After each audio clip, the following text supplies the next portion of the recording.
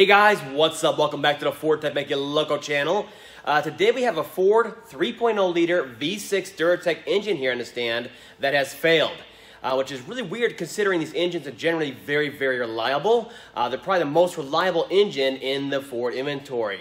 Now what's even weirder is I had two of these come in the same week, same noise, same kind of failure, both needing engines. Now the other one did have 287,000 miles on it, uh, and then this one had about 134,000 miles on it, so it's just breaking in basically. Um, but this one was overheated multiple times. Either way, that has nothing to do with the failure uh, that caused these engines to be replaced. Real quick, let's take a listen on how this sounds when it actually fails. It sounds like a rod's coming through the block on there any second now. Let's take a look.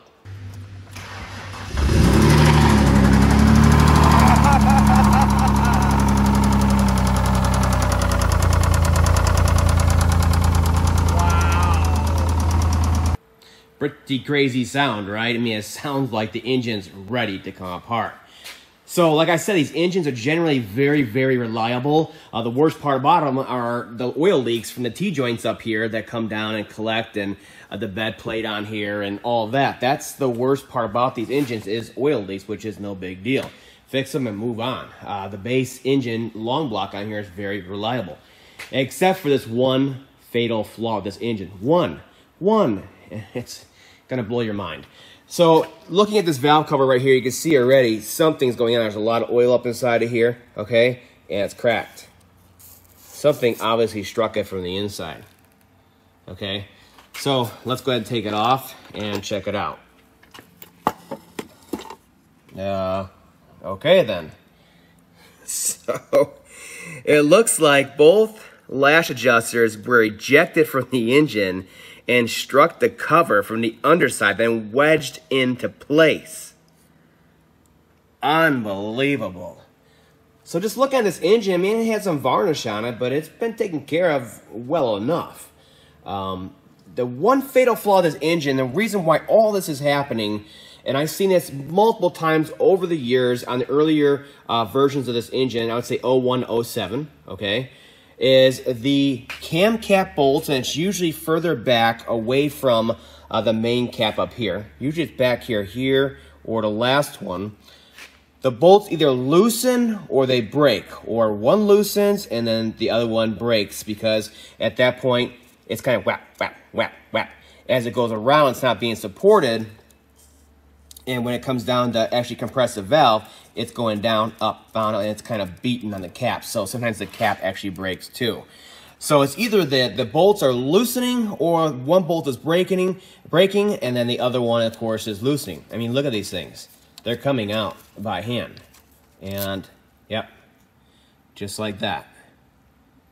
I've seen it way, way too often. You obviously know uh, that this is not due to rust or anything like that. Um, it's, it's obviously a hardness issue with the bolts, or it's the other one's loosening, and then when it's beating on the cam cap, it just eventually breaks the other one. So it's just like a hammer effect on there. At these, I'm pulling them up by hand. So let's take a look at this. Uh, yeah. Let's take a look at this cam cap on here. So once this happens, like I said, it's going to be flopping back here and just kind of beating on it and chewing on it and ugh. So it seems nice and polished, right? But you can see it's taken out quite a bit of the cam on there. I mean, it's pretty bad.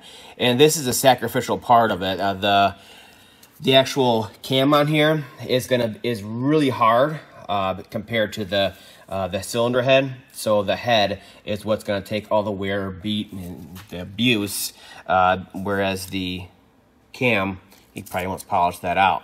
But it already took apart uh, took out the cam cap and then of course if you look underneath here you can kind of see it it beat up the actual pocket in the head too so of course once the bolt breaks or they loosen one of the two it lifts back here you can see it right you can see the back end's lifted instead of being capped all the way across like this and level you can see the second one there the intake cam is lifting the back. So when it does that, of course, there's no spring pressure keeping uh, the um, roller followers in place. So they're just going to shoot out in here somewhere.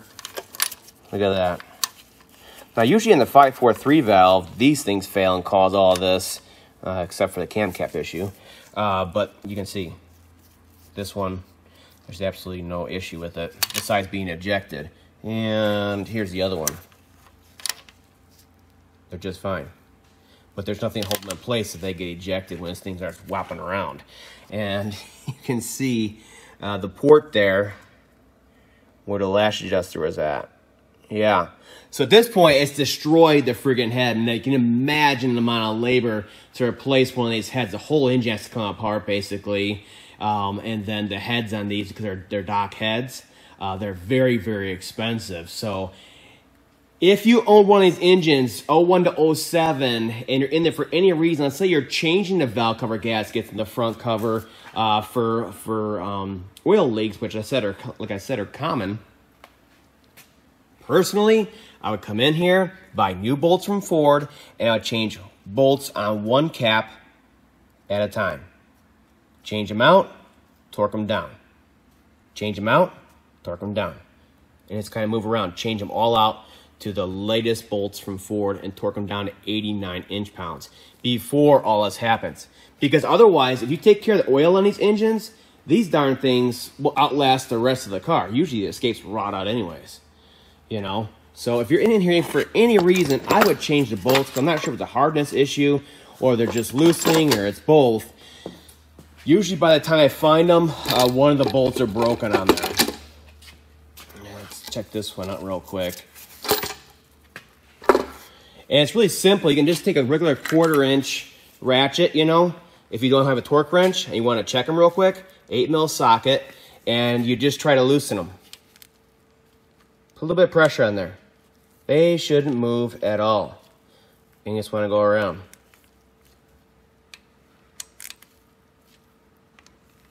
So all of them on here. And just see, because like right now you can't tell any of these are loose, but I bet one of them is loose.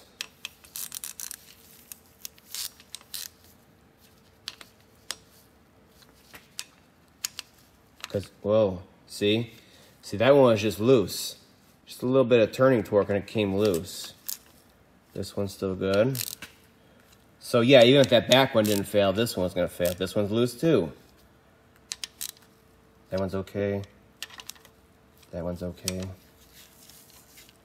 that one's okay. So, yeah, just a little heads up for you guys that are out there uh, that own one of these. You know someone that owns one of these.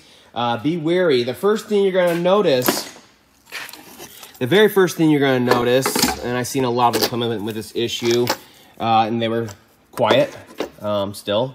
That was in early stages. The first thing you're going to notice is um, you're going to notice uh, misfires on the cylinder that's affected. Okay, so like if this one lifts up enough and then, because they're loose, let's say, or one broke, one's loose, but it still didn't chew anything up, guess what? Those intake valves are not being actuated as far as they should be for the amount of uh, lift this cam can provide to actuate that individual valve on there. So guess what? Because the mixture is wrong, what should be coming in for air volume is wrong because it's not opening all the way because it's already lifted like this then guess what? The amount of fuel coming in is going to be wrong, and you're going to have a misfire on that cylinder. Don't ignore misfires on these because that's the early warning sign that one of these is loosening and we're not actuating the valve all the way. Not to mention the 3.0, if you ignore misfires on these, they'll melt the cats right away because they're part of the exhaust manifold. They're like right here. So once you have that raw fuel coming out, that thing's sitting here red hot because they're always staying hot because they're so close to all these ports on here and staying warm, um, they'll melt down right away, and they're really expensive to replace. So, yeah, it all comes down to, to you know paying attention to your engine and not just running these things into the ground. But yeah, that's the one fatal flaw with this engine, the one fatal flaw. And um, if it's going to happen, it's going to be because these bolts either break or loosen on there. And that's exactly what occurs on there and it just beats it to death at, at this point, and it's really expensive to replace. Better off just to replace the engine. That's it. I'll see you guys next time.